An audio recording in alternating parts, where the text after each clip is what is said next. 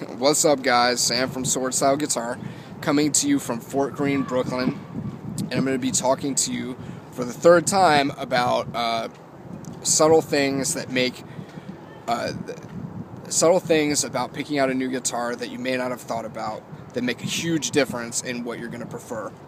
So, to me, there's four different types of guitars, more or less solid body. There's um, there's the uh, Les Paul type, the Telecaster type, the Stratocaster type, and the PRS type. You try out um, you try out these different um, types of guitars, and uh, you see which one you prefer. Um, it comes down to scale length. Um, comes down to scale length, uh, number of frets on the neck, etc., etc. Uh, these things make a huge difference. Um, yeah, I would encourage you to try out one of each. You know, um, try out a Gibson Les Paul, try out a Fender Strat, try out a Fender Telecaster, and try out a PRS. They don't have to be the ultra high end models, especially not if you're starting out. But uh, ultimately, you want to have you want to taste each of them and see which one is right for you. And I would even recommend uh, spending, you know, maybe a week or two just trying out at least, you know, one of the four flavors every single day. Um, another thing that makes a huge difference in whether whether or not you're going to like the guitar is the um, the shape of the neck. Um, necks can come in all sorts of shapes. You know, they can be anything from a V shape. A, a, let me try and draw this. A V to a U to um, a really wide. I can't really do it, but um, they can come in all different types of shapes and sizes.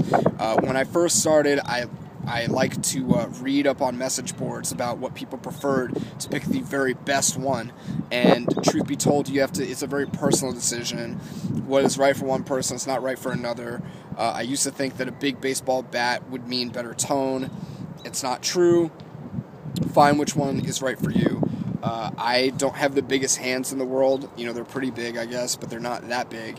And um, yeah, I don't really like a really wide and, and uh, thick neck. You know, I mean, it may sound good in certain situations, but it's just too much neck for me to handle. So I would say go out and check out um, your your preferences. So to start out, play an Ibanez, um, an Ibanez shredder type guitar with a very thin neck.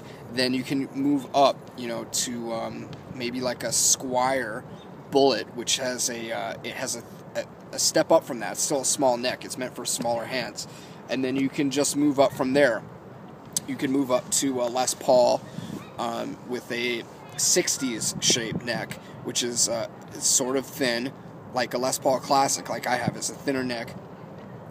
Um, you can try out the PRS wide a wide neck, which is like wide and thin, and you could try out Stevie Ray Vaughan Custom, which is a baseball bat. It's not the biggest I've ever played, but it's pretty big, um, and see which one fits your hand. And um, you know that's going to make a huge difference in whether whether or not you like the guitar. Um, another thing that I think is really important is um, you know you need to be able to try a bunch of different uh, guitars at once and you need to plug them in and you need to get to know the difference between a lively guitar and a dead guitar. Uh, to me, in my opinion, uh, the guitars that sound the best are the ones that acoustically respond well, which means unplugged, you strum it and they're very live. And then um, when you plug it in, you just get a, a full, rich range of harmonics and sounds.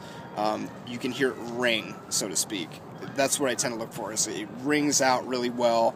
It doesn't matter if it has humbuckers or single coils, but it tends to ring out really well. So um, yeah, those are just basic things I like to look for when I'm when I'm buying guitar. They're not really talked about too much, and uh, I think that they're really really important. So just to recap, that's try each of the four different flavors of guitars uh, regularly.